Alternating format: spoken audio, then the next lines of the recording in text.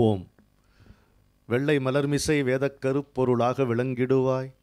தெள்ளு தமிழ்க் கலைவாணி நினக்கொரு விண்ணப்பம் செய்திடுவேன்.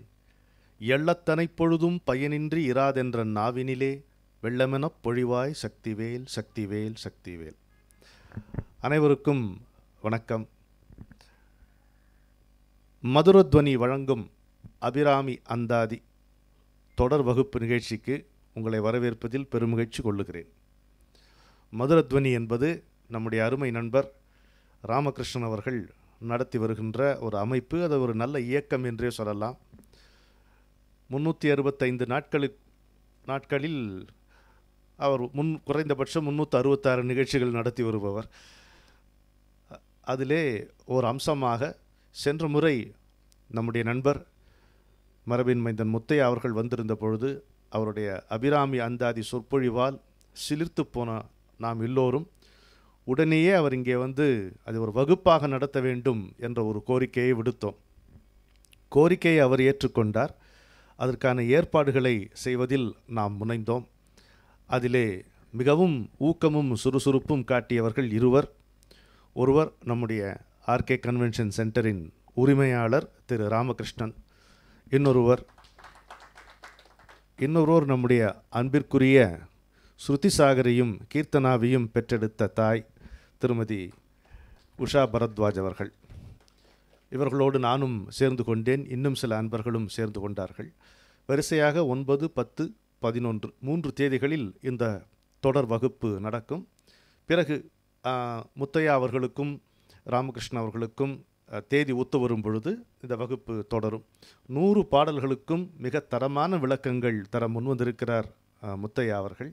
நாம் நாம் இன்று செய்கின்ற இந்த நிகழ்ச்சியினுடைய பதிவை எதிர்காலம் பாராட்டும். உங் ஆர்கேக்கு ஒரு நிச்சயமான ஒரு பாராட்டு இதற்காக கிடைக்கும். ஏனென்றால் முத்தையாவுடைய தரம் என்பது படித்து வந்த அறிவு என்பது மட்டுமல்ல. அவருடைய கல்வி அசைக்க முடியாத கல்வி ஆழமான கல்வி ஒருபுறம் இருக்க அவர் ஒரே நேரத்தில் அபிராமியின் திருவருளும் சத்குருவின் அருளும் சேர்ந்து வாய்க்க பெற்றவர். அது ரொம்ப அது மாதிரி கிடைப்பது ரொம்ப கஷ்டம். குருவருளும் திருவருளும் ஒரு சேர வாய்க்க பெற்ற ஒரு ஆத்மா மரபின்மை தன் முத்தையா அவர்கள். அவருக்கு என்ன எவ்வளவுதான் நீங்கள் சிறப்பு அடைமொழிகள் கொடுத்தாலும் அபிராமி செல்லப்பிள்ளை என்பது அவருக்கு பொருந்துவது போல் யாருக்கும் பொருந்தாது என்பதே என்னுடைய ஆழமான அபிப்பிராயம் அல்ல அனுபவம். இதை நான் பலமுறை அவருடைய வாழ்க்கையின் நிகழ்ச்சிகளிலே நான் பார்த்திருக்கிறேன். அப்படிப்பட்ட நம்முடைய அன்பிற்குரிய கலைமாமணி மரபின் மைந்தன் முத்தையா அவர்கள் இந்த வகுப்பை நடத்த இங்கே இசைந்தமைக்கு எங்களுடைய எளிய முறையில் நாங்கள் செய்கின்ற இந்த விழாவை இந்த அமைப்பை இந்த ஏற்பாட்டை ஏற்றுக்கொண்டதற்கு அவருக்கு சிரம் தாழ்த்தி கரம் கூப்பி நன்றியும் வணக்கமும் சொல்லி இந்த அவையை அவரிடம் ஒப்புவிக்கிறேன். இனி அவரும் அபிராமியும் உங்களை கட்டி போடுவார்கள் கட்டிலிருந்து விடுவிப்பார்கள்.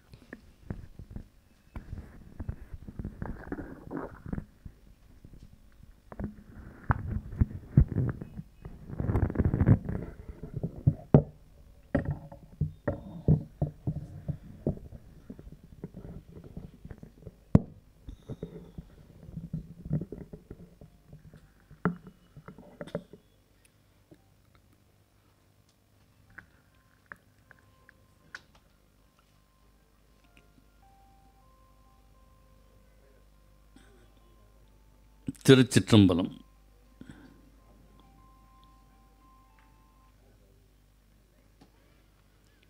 மண்ணுலகத்தினில் பிறவி மாசர எண்ணிய பொருளெல்லாம் எழுதல் முற்றுற. கண்ணுதல் உடையதோர் களிற்று மாமுகப் பண்ணவன் மலரடி பணிந்து போற்றுவாம். மூவிரு முகங்கள் போற்றி முகம்பொழி கருணை போற்றி ஏவரும் துதிக்க நின்ற ஈராறு தோள் போற்றி. காஞ்சி மாவடி வைகும் செவ்வேள் மலரடி போற்றி அண்ணான் சேவலும் மயிலும் போற்றி திருக்கைவேல் போற்றி போற்றி. தனந்தரும் கல்வி தரும் ஒரு நாளும் தளர்வறியா மனம் தரும். தெய்வ வடிவும் தரும் நெஞ்சில் வஞ்சமில்லா இனம் தரும் நல்லன எல்லாம் தரும். அன்பரு என்பவர்க்கே கனந்தரும் பொங்குழலாள் அபிராமி கடைக்கண்களே. காதலாகிக் கசிந்து கண்ணீர் மல்கி ஓதுவார் தம்மை நன்னெறிக்கு உய்ப்பது. வேதம் நான்கினும் மெய்ப்பொருள் ஆவது நாதன் நாமம் நமச்சிவாயவி. தெளிவு குருவின் திருமேனி காண்டல் தெளிவு குருவின் திருவார்த்தை கேட்டல். தெளிவு குருவின் திருநாமம் செப்பல் தெளிவு குரு குரு சிந்தித்தல் தானே. திருச்சிற்றம்பலம்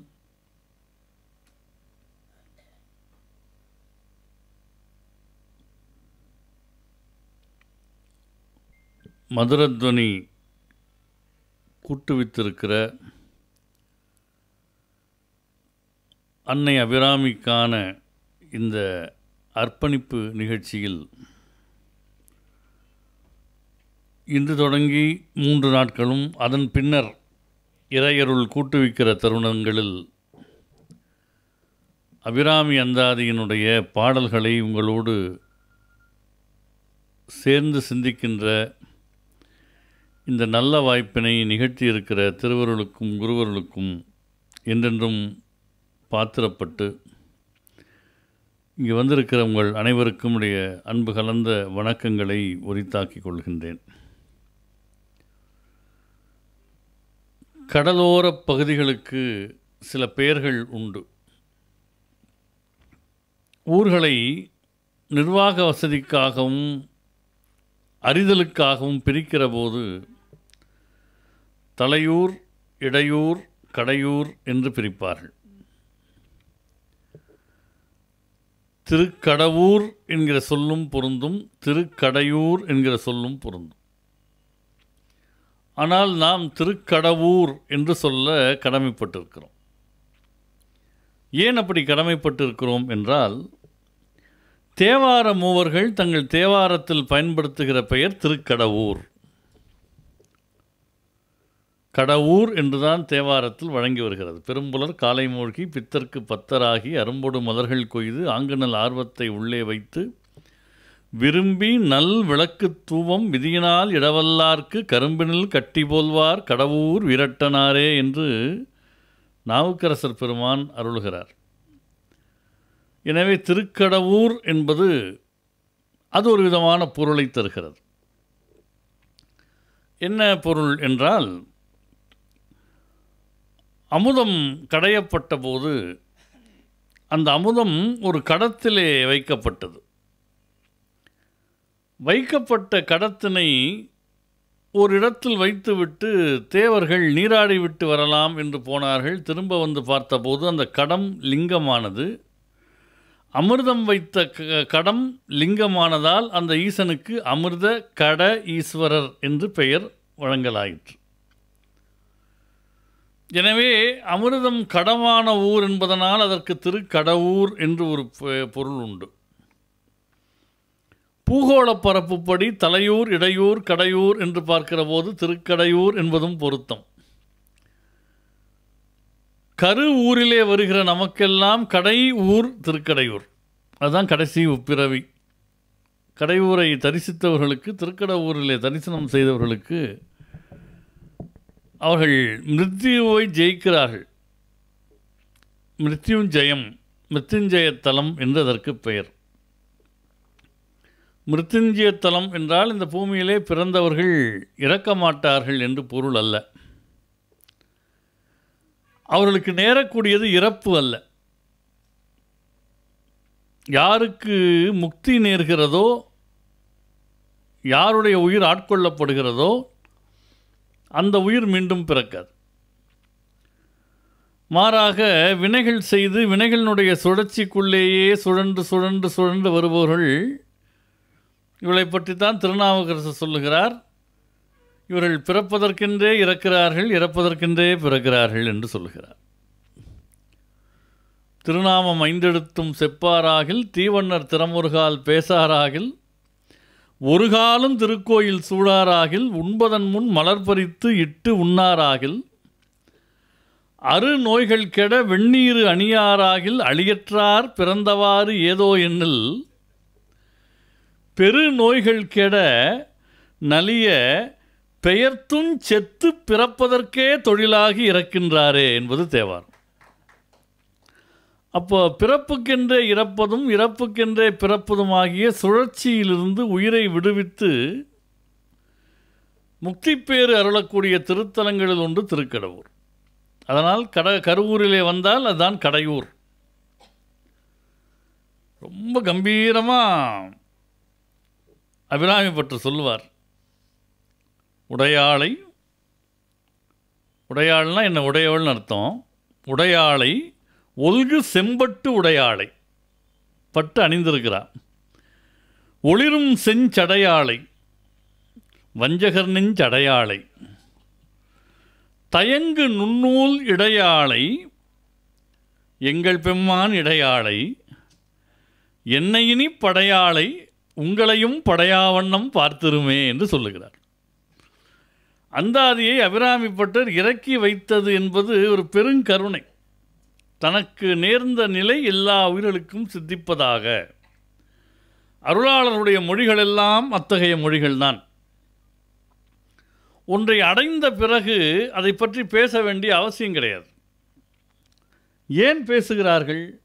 நம்பால் உள்ள கருணையினால் பேசுகிறார்கள். நான் இதற்கு வழக்கமாக ஒரு உதாரணம் சொல்வது உண்டு ரொம்ப படித்து ஒரு மூன்று நான்கு பிஹெச்டி பட்டம்லாம் வாங்கின ஒருத்தர் அரசாங்கத்தில் ஒரு காரியத்திற்காக போவார் என்றால் அவர் ஒரு நல்ல ஒரு ஏ ஃபோர் ஷீட்டில் என்ன எழுதி டைப் பண்ணி பிரிண்ட் அவுட் எடுத்துகிட்டு போனாலும் அங்கே செல்லுபடியாகாது வாசலில் ஒரு கொடையை கட்டிட்டு ஒருத்தர் உட்காந்துருப்பார் பத்திர எழுத்தர்னு பேர். அவர்கிட்ட போய் இவர் விவரத்தை சொல்ல அவர் அந்த பத்திரத்தில் எழுதி கொடுக்கறது தான் செல்லும். நாம் எவ்வளவு தான் படித்ததான் நினச்சிக்கிட்டாலும் இறைவனுடைய சன்னிதானத்தில் நம்முடைய மொழிகள் செல்லாது.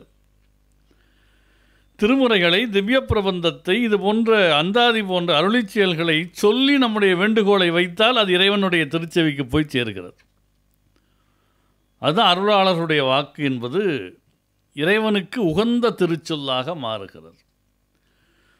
எனவே தான் ஈடேற்றம் கண்டால் போதாது இந்த பூமியில் வாழ்கிற உயிர்களெல்லாம் அந்த நெறியிலே ஈடேற்றம் காண வேண்டும் என்கிற பெருங்கருணை காரணமாக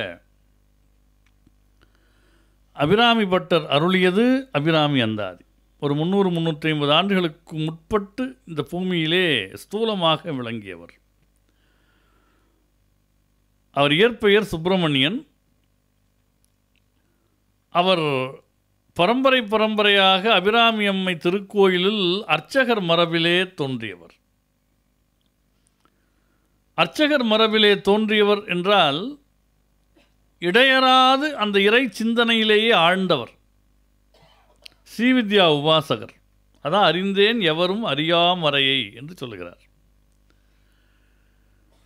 அவருக்கு எந்த பெண்ணை பார்த்தாலும் அபிராமின்னு தோணிடும் யாரை பார்த்தாலும் கால்களில் விழுந்து வணங்குவார். அவங்க எல்லாம் பதறி போய் விலகுவார்கள். இது ஏதோ மனப்பிரமை போல் இருக்கிறது சித்த பிரம்மை போல் இருக்கிறது என்று நினைக்க ஊரில் நான்கு விதமாக பேசத் தொடங்கினார். மனுஷனுக்கு எப்பயுமே ஒரு இயல்பு என்னென்னா தன்னுடைய இயல்பான அறிவுக்கு எட்டாத ஒன்று நடந்தால் அது ஏதோ தப்பான விஷயமாக தான் இருக்குன்னு முடிவு பண்ணுவோம். ஒருவர் இறை நினைவிலேயே தன்னை மறந்து கண்கள் சிவந்து அப்படி தள்ளாடி தள்ளாடி போகிறார். இவர் வாமாச்சாரத்தில் ஈடுபட்டவர்னு அவரை முத்திரை குத்தினார். அவர் அதை பற்றிலாம் கவலைப்படலை. அவருக்கு இரவு கிடையாது பகல் கிடையாது பொழுதுகள் கிடையாது. சதா சர்வகாலம் அம்பிகையே சிந்தையிலே தியானித்து கொண்டிருப்பார்.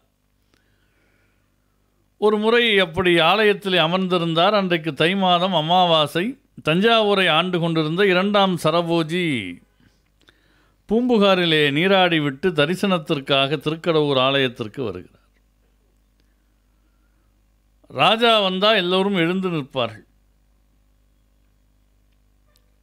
ஆனால் பட்டர் எழலை. என்ன காரணம்? ராஜாவே பார்க்கல.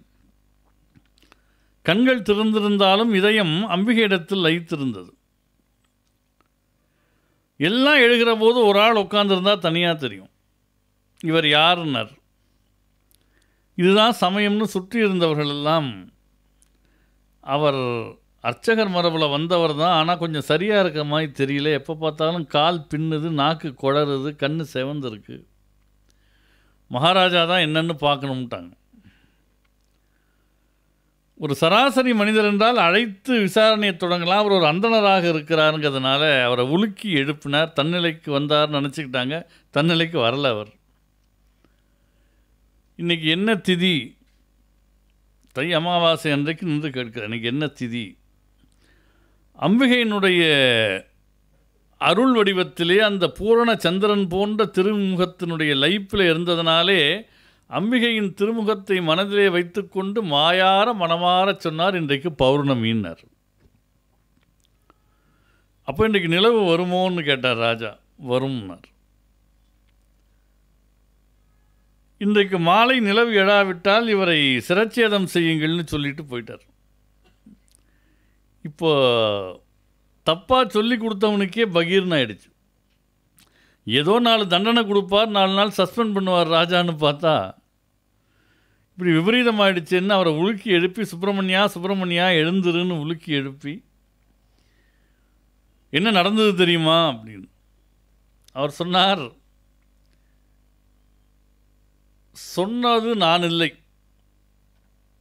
ஞானிகள் சிலவற்றை சொல்வது போல் நமக்கு தோன்றும் அது அவர்கள் சொல்லுவது அல்ல. வள்ளல் பெருமான் சொன்னார் நான் உரைக்கும் வார்த்தையெல்லாம் நாயகந்தன் வார்த்தையினர். ஒரு பெரிய கிளைம் அது. நமக்கெல்லாம் சொல்ல தகுதியே கிடையாது. அவருக்கு சொல்ல முடியும். நான் உரைக்கும் வார்த்தையெல்லாம் நாயகந்தன் வார்த்தை. ஞானசம்பந்த சாமி சொல்கிறார் தனது உரை எனதுரையாக கொண்டு.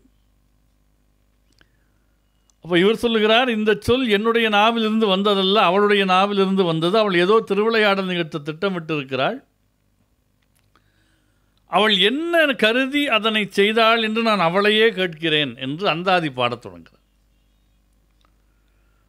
அந்தாதினா உங்களுக்கு தெரியும் ஒரு பாடலினுடைய ஈற்றுச்சொல் அடுத்த பாடலினுடைய தொடக்கமாக அமையும். கீழே இது வந்து ஒரு மரபிலே சொல்லப்படுகிறது உடனிருந்து பார்த்தவள் இல்லாததால் நமக்கு தெரியல. அரிகண்டம் பாடுதல்னு ஒன்று உண்டு. கீழே நெருப்பை வளர்த்து மேலே ஒரு நூற்றி ஒரு கயிறில் அந்த பலகையை கட்டி அதன் மேல் நின்று கொண்டு ஒவ்வொரு பாடலாக பாட பாட ஒவ்வொரு கயிறாக அறுத்து கொண்டே வருவது. அது அரசன் கையில் விழுவதற்கு அம்பிகை முன்னாலேயே நெருப்பில் விழுந்துடலான்னு முடிவு பண்ணுறார் அப்படி அருளியது தான் அபிராமி அந்தாதி. இந்த அந்தம் ஆதி ஆதி அந்தம்ங்கிறது விநாயகர் காப்பு நீங்களாக விநாயகர் காப்பு அந்த வரிசைக்குள்ளே வராது.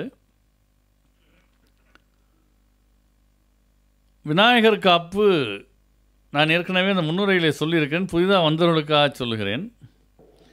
இது அந்தாதி வகுப்பு சொல்பொறிவு அல்ல. ஒவ்வொரு பாடலாக ஒவ்வொரு வரியாக நான் சொல்லுகிற போது நீங்கள் சேர்ந்து சொல்வது நல்லது. முடிந்தால் அடுத்த வகுப்புக்கு கையில் அபிராமி அந்தாதி பாடல்களை வைத்திருந்தால் அது இன்னும் மேலும் உசிதமானது. இப்போ நான் உரையை தொடங்குகிற போது திருச்சிற்றம்பலம் என்று தொடங்கியது போல எல்லா நூல்களும் சிதம்பரத்திலிருந்து தொடங்கும். சைவர்களுடைய தலைமைத்தலம் திரு தில்லையாகிய திருச்சிற்றம்பலம். அதனால்தான் முதல் பாடலில் சிதம்பரத்தில் எழுந்தருளி இருக்கிற கற்பக விநாயகரை பாடி தொடங்குகிறார். சொல்ல சொல்ல நீங்கள் என்னோடு சேர்ந்து சொல்ல வேண்டும் என்று பிரார்த்திக்கிறேன். தாரமர் கொன்றையும் ஷண்பக மாலையும் சாத்தும் தில்லை ஊரர் தம் பாகத்து உமை மைந்தனே. உலகேழும் பெற்ற சீர் அபிராமி அந்தாதி. எப்போதும் என் சிந்தையுள்ளே. காரமர்மேனி கணபதியே. நிற்க கட்டுரையே. இது விநாயகர் காப்பு. அபிராமி அந்தாதி முழுக்க நீங்கள் பார்த்தீங்கன்னா அம்மையும் அப்பனுமா அர்த்தநாரீஸ்வர கோலத்திலேயே தரிசனம் காட்டுவார் அபிராமி பற்று அது முதல் பாடல்லையே தொடங்கு இது முதல் பாடல் அல்ல விநாயகர் காப்பு பாடல். தாரமர் கொன்றையும் சண்பக மாலையும் சார்த்தும் தில்லை ஊரர்தம் பாகத்து உமை மைந்தனே. தார் என்றால் ஆண் ஆண்கள் அணியக்கூடிய மாலை. அதுக்கு மாலைன்னு பேர் இல்லை தார்னு தான் பேர். அதான் வேந்தர்களை தார் வேந்தர் அப்படிங்கிறோம். இன்றைக்கி பையன்கிட்ட போய் தார் வேந்தர்னால் தார் ரோடு போட்ட வேந்தர்னு நினைக்கிறான். தார் வேந்தர் என்றால் முனைகள் கட்டப்படாதது தார். முனைகள் கட்டப்பட்டால் மாலை. ஆண் தெய்வங்களுக்கு தார் அணிவிப்பார் நீங்கள் திருப்பதியில் பார்த்துருப்பீங்க. அரங்கனுக்கு அத்தகைய தாரைத்தான் மனதாலே செய்து அதை மறுபடியும் கட்டி கழுத்தில் அழகு போட்டு பார்த்து அழகு பார்த்தவள் ஆண்டாள். வடபத்திர சாயிக்கு இது பொருத்தமாக அதனால அவன் அணிந்திருக்கு தார் மாதிரி இருக்கும். இந்த முனை கட்டப்படாமல் இருக்கும். மாலை என்பது முனை கோர்க்கப்பட்டது. சிவபெருமானுக்குரியது கொன்றை அம்பிகைக்குரியது செண்பகம். வீட்டில் செண்பக மரம் வைத்தீர்களேயானால் அங்கே அம்பிகை வாசம் செய்கிறாள் என்று பொருள். அவருடைய சாநித்தியத்துக்கு அடையாளங்களில் ஒன்று செண்பக நறுமணம். தாரமர் கொன்றையும் அது என்ன அழகுன்னா தார்னா கட்டப்பட்டதுன்னு சொன்னேன் அமர் கொன்றை. நீங்கள் கட்டி ஒரு எட்டு மணி நேரம் ஆச்சுன்னா அது அமர் கொன்றையில் உதிர் கொன்றை ஆயிரும் பெருமான் எப்பொழுதும் புதிதாக கட்டப்பட்ட தாரையே சூடியிருக்கிறானா தார் அமர் கொன்றை. சண்பக மாலை. சாத்தும் தில்லை ஊரதம் பாகத்து உமை மைந்தனே. இந்த ரெண்டு காரணம். ஒன்று சம்பிரதாய ரீதியாக சிதம்பரத்தை சொல்லி தொடங்கணும். ஏன் இப்போ திருக்கடவுரில் பிள்ளையார் இல்லையான்னு இருக்கிறார்? அந்த பிள்ளையார் கொஞ்சம் வேற மாதிரி பிள்ளையார். சிதம்பரத்தில் இருக்கிற விநாயகருக்கு கற்பக விநாயகர்னு பேர். எதை கேட்டாலும் கொடுக்கக்கூடியவர்.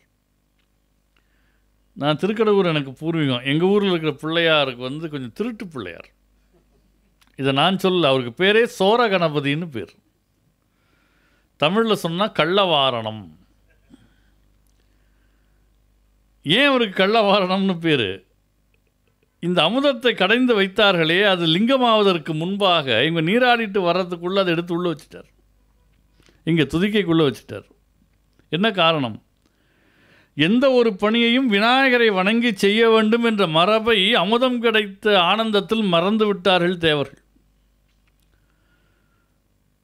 எதை செய்தாலும் விநாயகர் வணக்கத்தோடு தொடங்கணுங்கிறது நம்ம மரபு.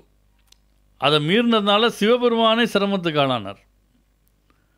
திரிபுரங்களை எரிப்பதற்கு போகிறபோது அவசரத்தில் பிள்ளையாருக்கு வணக்கம் போடாமல் கிளம்பிட்டார். அந்த அச்சை உடைச்சிட்டார். முப்புறம் எரி செய்த அச்சிவன் ஒரே ரதம் அச்சது பொடி செய்த அதி தீரா என்று அருணகிரிநாத சாமி பாடுறார். அதனால் அந்த அமுதக்குடத்தை எடுத்து மறைத்து வைத்தார். தேவர்கள் தங்கள் தவறை உணர்ந்து தண்டனிட்டு கேட்ட பிறகு திரும்பவும் அருளினாரா? இப்போ அபிராமி பற்று பாட ஆரம்பிக்கிறார். நம்ம பாடுகிற அந்தாதியும் ஒரு அமுத கலசம்தான் இதை அவர் எடுத்து பழக்க தோஷத்தில் உள்ளே வச்சுட்டா என்ன பண்ணுறதுன்னு எடுக்கிற பிள்ளையாரை பாடாமல் தில்லையில் இருக்கிற கொடுக்கிற பிள்ளையாரை பாடினாராம். கற்பக விநாயகரை பாடினார். தில்லை ஊரர்தம் பாகத்து உமை மைந்தனே. அதாவது மூர்த்தங்களில் சோமாஸ்கந்த மூர்த்தம் ரொம்ப முக்கியம். சிவபெருமான் அம்பிகை முருகன். இவர் சோம கணபதி மூர்த்தம் காமிக்கிறார். சிவபெருமான் அம்பிகை விநாயகப் பெருமான். இந்த திருத்தோற்றத்தை அவர் நமக்கு தரிசனமாக காட்டுகிறார். உலகு ஏழும் பெற்ற சீர் அபிராமி. இந்த ஏழு உலகங்களையும் பெற்ற தாயாக இருக்கக்கூடிய புவனேஸ்வரி ஜெகன்மாதா அவளை பாடக்கூடிய இந்த அந்தாதியை எப்போதும் என் மனதில் நிற்குமாறு காரமர் மேனி கணபதி. என்ன முழுக்க முழுக்க அம்பிகையால் உருவாக்கப்பட்ட பிள்ளை விநாயகர். அம்மா கருப்புன்னா பிள்ளையும் கருப்பாக தான் இருக்கும். அங்கே முழுக்க முழுக்க சிவபெருமானுடைய நெற்றிக்கண்ணிலே தோன்றியவர் முருகப்பெருமான். அவரும் சிகப்பு பிள்ளையும் சிகப்பு.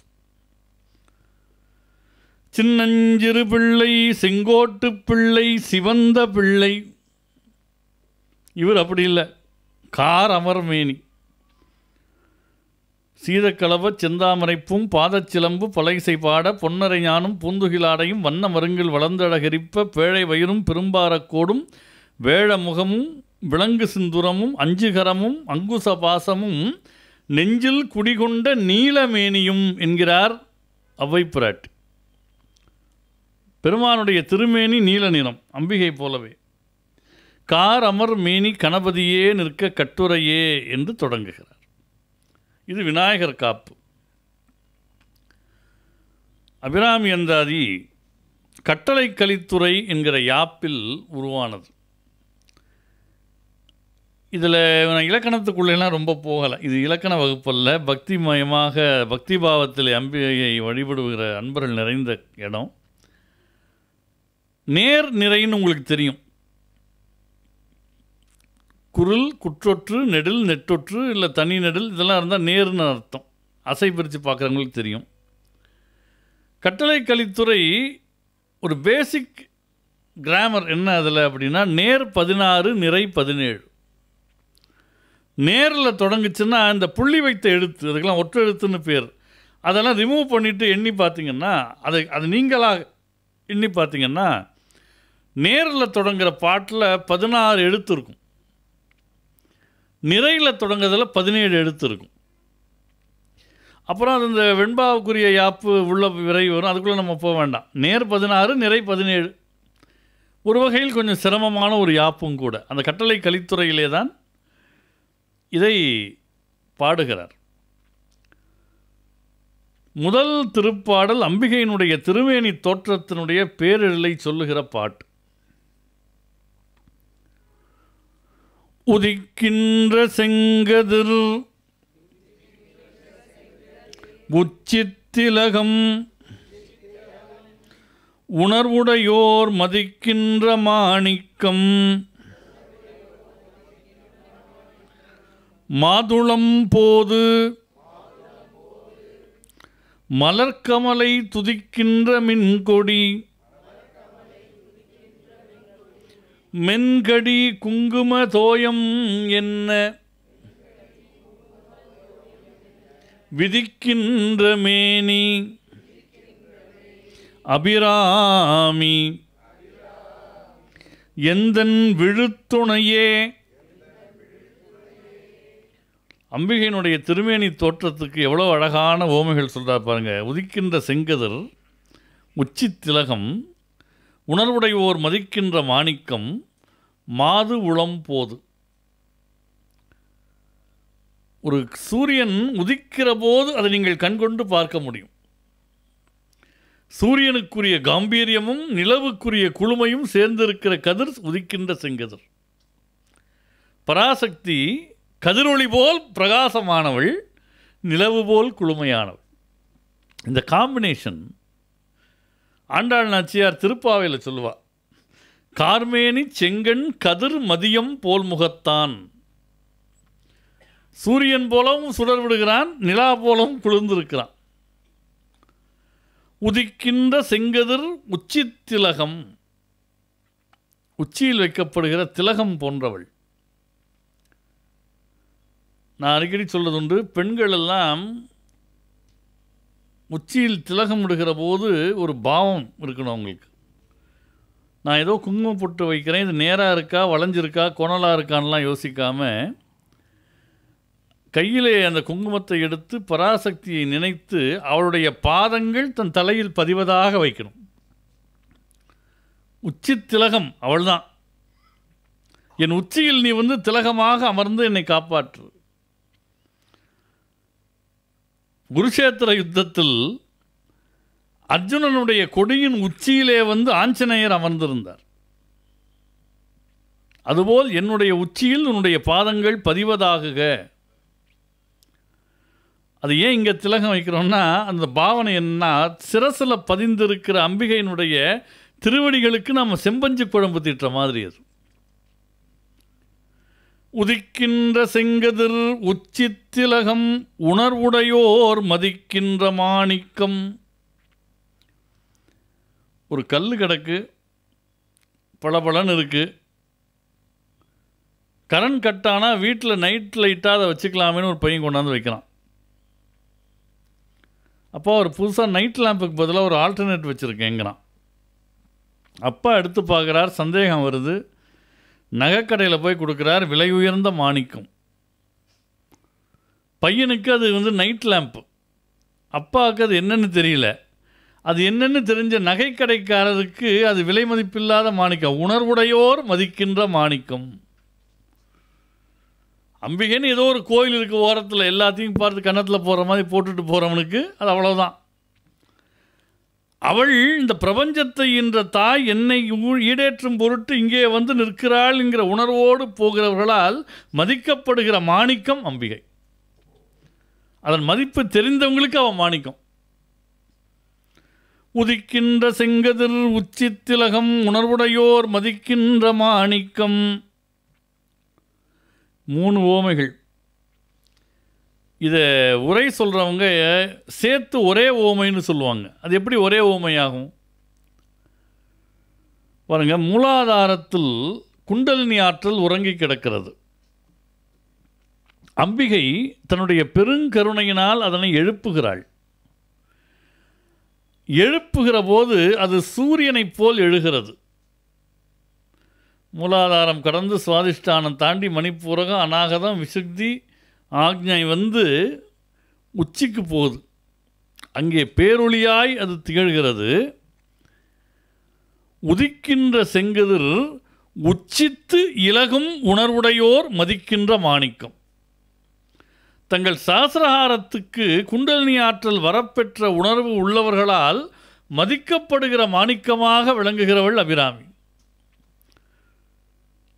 மாதுளம் போது. எவ்வளவோ பூக்கள் இருக்குது மாதுளஞ்செடியில் நீங்கள் நாளைக்கு அந்த பூவை பாருங்கள் அது நின்று கொண்டு இருக்கிற அம்பிகை நின்ற கோலத்தில் இருக்கிற மாதிரியே இருக்கும். அந்த பூவினுடைய வடிவம் அரும்பு அம்பிகை நிற்பது போலவே இருக்கும். மாதுளம் போது. அவள் யார்? மலர்கமலை துதிக்கின்ற மின்கொடி. பொதுவாக ஸ்ரீவித்யா உபாசகர்கள் சொல்லுவார்கள் அம்பிகையினுடைய தரிசனம் ஒரு மின்னல் மாதிரி வந்துட்டு போவோமா மின்கொடி. மின்னல் கொடி போன்றவள் அவளை யார் துதித்து கொண்டிருக்கிறார்கள்? ஒரு பக்கம் வெண்டாமரை மலரில் இருக்கிற கலைமகள் துதிக்கிறாள் இன்னொரு பக்கம் செந்தாமரை மலரில் இருக்கிற திருமகள் துதிக்கிறாள் மலர்கமலை துதிக்கின்ற மின்கொடி. அம்பிகை வருகிறாள் ஒரு இடத்துல அவள் எழுந்தருள்கிறாள்னா சூட்சுமமாக அவள் வர்றா அவள் இருப்பு அங்கே இருக்குங்கிறதுக்கு அடையாளம் மெல்ல ஒரு குங்கும வாசனை வரும். மென்கடி குங்கும தோயம். அது மெல்லிய வாசனை கொண்ட குங்குமம். அந்த குங்குமத்தில் தோய்ந்தது போன்ற திருமேனி அம்பிகையினுடைய திருமேனி. மென்கடி குங்கும தோயமன்ன விதிக்கின்ற மேனி அபிராமி. அவ யாரு? ரயிலில் போகிறோம் ரெண்டு மணி நேரம் ரயில் பயணத்துக்கு ஒருத்தர் துணையாக வருகிறார். அவர் ரயில் துணை. கொஞ்சம் நீண்ட பாதைக்கு போகிறோம் ஒருத்தர் வர்றார் வழித்துணை. இந்த பிறவிக்கு ஒரு எண்பது எண்பத்தஞ்சு வயசு வாழுகிற வரையில் கூட ஒருத்தங்க இருக்காங்க. அவங்க வாழ்க்கை துணை. இதுவரை எடுத்த எல்லா பிறவிகள்லையும் கூடவே வந்து நம்ம வினைத்தொகுதி முழுக்க எரிக்கிற வரைக்கும் கூட இருந்து அது முழுக்க காலியாயிடுச்சான்னு பார்த்து பள்ளிக்கூடம் விட்ட பிள்ளைய பத்திரமா வீட்டுக்கு கூட்டு போகிற மாதிரி வினை நீங்கிய பிள்ளைக்கு முக்தி அருளக்கூடிய அம்பிகை விழுத்துணை நிலையான துணை. விழுத்துணை என்றால் நிலையான துணை என்று பொருள். எது நிலையானதோ அதற்கு விழு என்று பெ- ஒரு சொல் சொல்லுவாங்க.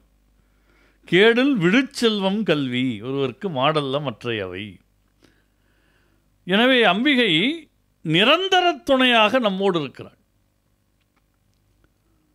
உதிக்கின்ற செங்கதிர் உச்சித்திலகம் உணர்வுடையோர் மதிக்கின்ற மாணிக்கம் மாதுளம்போது. அருமையான பாட்டு. மலர்க்கமலை துதிக்கின்ற மின்கொடியினர் இரண்டு பேரும் துதிக்கிறார் மென்கடி குங்கும தோயம் என்னை விதிக்கின்ற மேனி அபிராமி எந்தன் விழுத்துணையே. இந்த உறுதிப்பாடு தான் அவரை வந்து அந்த அரச நெருக்கடியை எதிர்கொள்ளுகிற ஒரு பலத்தை கொடுத்தது. தனக்கு பின்னால் இருக்கிற இறை வலிமையை கொண்டுதான் மற்றவர்களை எதிர்க்க முடியும். எதிர்க்க வேண்டியதை எல்லாத்தையும் எதிர்க்கக்கூடாது இன்றைக்கி நாட்டில் என்ன சொன்னாலும் எதிர்க்கிறார்கள். எதிர்க்க வேண்டியதை தேவை இருந்தால் எதிர்க்கணும். அதுக்கு என்ன பலம்? இறை பலம் நமக்கு பெரிய துணை. நாமார்க்கும் குடியெல்லோம் நமனை அஞ்சோம் நரகத்தில் இடர்படோம் நடலையல்லோம் ஏமாப்போம் பிணியறியோம் பணிவோம் அல்லோம். இன்பமே என்னாலும் துன்பமில்லைனர் நாவுக்கரசர். அந்தாதியில் இரண்டாவது பாடல் விடுத்துணையே என்று முடிந்தது. அந்த பாடல் எப்படி மறுபடியும் தொடங்குகிறது என்றால் துணையும் தொழுந்தெய்வமும் பெற்ற தாயும் சுருதிகளின் பனையும் கொழுந்தும் பதிகொண்ட வேரும் பனி மலர் பூங்கணையும் கருப்புச் சிலையும் மென் பாசாங்குசமும் கையில் அணையும் திரிபுர சுந்தரி ஆவது அறிந்தனமே. அதாவது நாம் கேள்விப்படுவது என்பது ஒன்று நாம் அறிந்து கொள்வது என்பது வேறு. அறிவது என்றால் நம் சொந்த அனுபவத்திலே அறிவது. இவர் என்ன அறிகிறார்னா அபிராமிதான் தன் துணை என்று அறிகிறார். தான் தொழக்கூடிய தெய்வம்தான் அந்த துணை என்பதையும் அவர் உணர்கிறார். இந்த தெய்வம்தான் தன்னை பெற்ற தாய் என்றும் உணர்கிறார். துணையும் தொழும் தெய்வமும் பெற்ற தாயும். என்றைக்குமே எது கண்ணுக்கு நேராக இருக்கிறதோ அதான் நமக்கு தெரியும். ஆர்கே கன்வென்ஷன் சென்டர் எங்கே இருக்குது அப்படின்னா இந்த ஷா கட்டடத்தில் இருக்குது ஷா கட்டடத்தை நேராக பார்க்குறோம். ஆர்கே கன்வென்ஷன் சென்டர் அது மேலே இருக்குது அது யாரும் சொல்கிற போது ஐநூறு அடி ஆழ அஸ்திவாரம் கொண்ட ஷா கட்டிடத்தில் இருக்குன்னு சொல்கிறதில்ல முதல்ல எது சொல்கிறாங்க கண்ணுக்கு எது தெரியுது? ஷா. அப்புறம் கேட்டால் அது பெரிய அஸ்திவாரம் சார் கீழே போயிருக்கு. மேலே ஆர்கே கன்வென்ஷன் சென்டர். சுருதிகளின் பனையும் கொழுந்தும் பதிகொண்ட வேரும். வேதங்கள் வேதங்களினுடைய நான்கு வேதங்கள் தான் பனை ஒரு விருட்சமாக கற்பனை பண்ணிங்கன்னா அதனுடைய நடுப்பகுதி வேதங்கள். அதன் கொழுந்து இங்கே உச்சியில் பூத்தது உபனிஷதம் வேதத்தினுடைய சாரம். வேதங்கள் மரத்தினுடைய நடுப்பகுதி கொழுந்து பகுதி உபனிஷதங்கள்னா அதுக்கு ஒரு வேர் இருக்கணும் இல்லையா? அடிப்படை விதை. அது என்ன? ஓங்காரங்கிற பிரணவம். அம்பிகை யாரு? அவள்தான் வேதங்கள். அவள்தான் உபனிஷதம். அவள் தான் அனைத்துக்கும் ஆதாரமான பிரணவம்.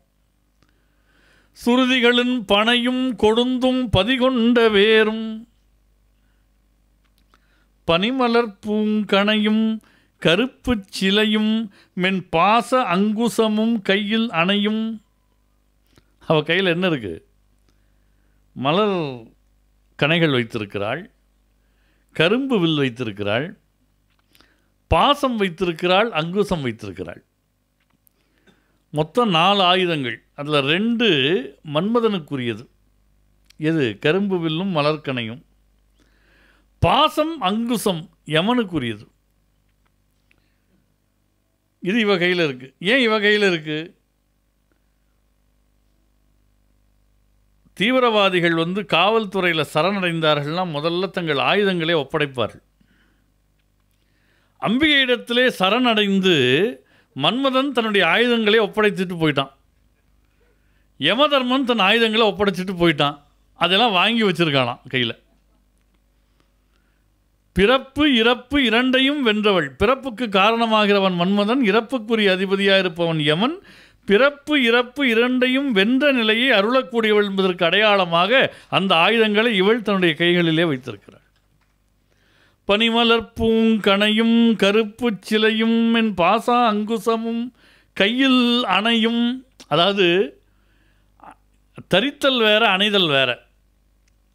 இப்போது நீங்கள் ஒரு இடத்துக்கு போகிறீங்க திடீர்னு ஒரு நாலு பொக்கே கொண்டாந்து கொடுக்குறாங்கன்னா அதை கையில் அப்படி வச்சுட்ருப்பீங்க அது உங்களோடது இல்லை. உங்கள் நீங்கள் கொண்டு வரல. கொடுத்ததை அப்படி கையில் வச்சுருப்பீங்க. கையில் அணைதல். இவ அப்படி வச்சுருக்கா. அணையும் திரிபுர சுந்தரி ஆவது அறிந்தனமே. திரிபுர சுந்தரின்னா முப்புறங்களினை ஆளக்கூடிய அம்பிகைன்னு மட்டும் பொருள் அல்ல.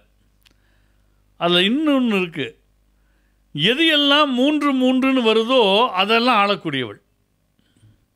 உடல் மனம் உயிர். மனம் வாக்கு சித்தம். இடகலை பிங்கலை சுழுமுனை. இந்த மூன்று புறங்களையும் அவள் தான் ஆள்கிறாள். எவையெல்லாம் மூன்று மூன்றாக வருகிறதோ அதையெல்லாம் ஆளக்கூடிய ஒரு தன்மையில் இருக்கக்கூடியவள் அம்பிகை. திரிபுர சுந்தரி இன்னொன்று திரிபுரங்கள்லையும் அவள் தான் சுந்தரி. எங்கே தேடி பாருங்க அவள் அழகுக்கு நினை கிடையாது. திரிபுர சுந்தரி ஆவது அறிந்தனமே இதை நான் அறிந்து கொண்டேன். துணையும் தொழும் தெய்வமும் பெற்றதாயும் சுருதிகளின் பனையும் கொழுந்தும் பதிகொண்ட வேரும் பனிமலர் பூங்கணையும் கருப்புச் சிலையும் என் பாசாங்குசமும் கையில் அணையும் திரிபுர சுந்தரி ஆவது அறிந்தனமே. அடுத்து சொல்கிறார் எல்லா டாக்டரும் எம்பிபிஎஸ் படிச்சுட்டு தான் வர்றாங்க. ஆனால் ஒரு டாக்டர் எல்லாத்துலேயுமே ஸ்பெஷலிஸ்ட்டாக இருக்கார். எப்படி? ஏதோ ஒரு குறிப்பிட்ட துறையில் அவருக்கு நிகர் இன்னொருத்தங்க இல்லைன்னு பேர் வாங்குறார். என்ன காரணம்? எல்லாம் படிக்கிற எம்பிபிஎஸ் தான் அவரும் படித்தார் மற்றவங்களுக்கு புரியாத ஏதோ ஒன்று அவருக்கு புரிஞ்சிருக்கு. உபாசகர்கள் எல்லோரும் ஒரே விதமாகத்தான் உபாசனையை மேற்கொள்ளுகிறார்கள். ஏதோ ஒன்றை கூடுதலாக அபிராமிப்பட்டர் அறிந்திருக்கிறார். அறிந்தேன் எவரும் அறியாமறையை. அறிந்து கொண்டு செறிந்தேன் நினது திருவடிக்கே. திருவே வெறுவி பிரிந்தேன். நின் அன்பர் பெருமை எண்ணாத கரும நெஞ்சால். மறிந்தே விழும் நரகுக்கு உறவாய மனிதரையே. மறிந்தே விழும் நரகுக்கு உறவாய மனிதரையே.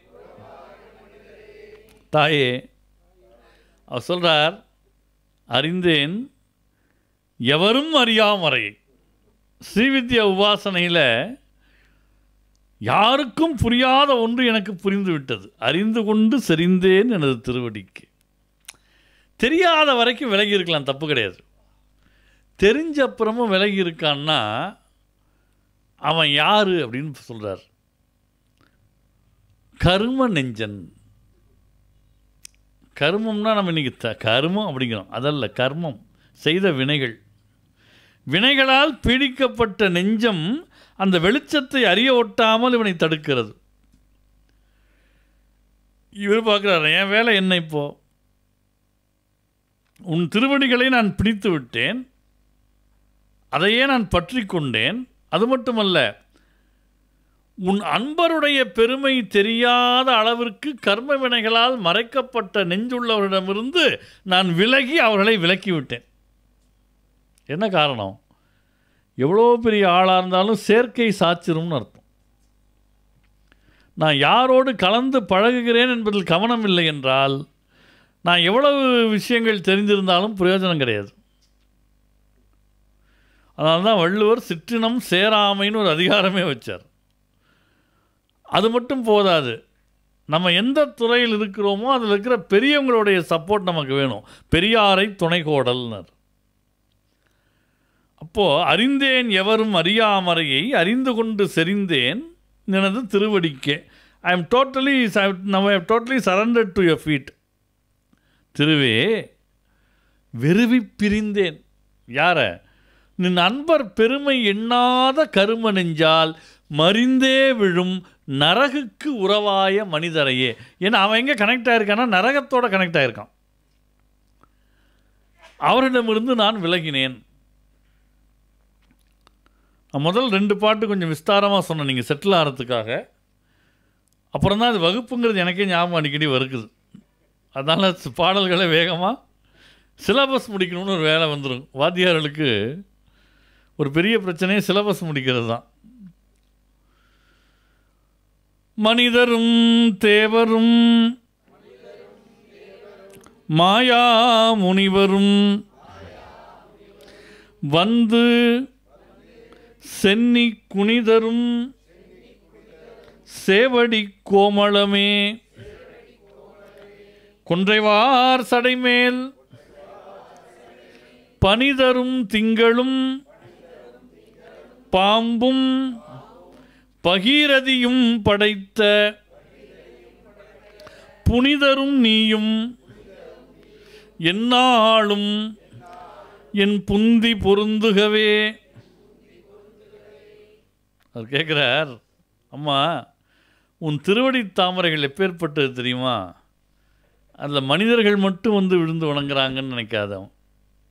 மனிதர்கள் வணங்குகிறார்கள் தேவர்கள் வணங்குகிறார்கள் மாயா முனிவர் வந்து வணங்குகிறார்.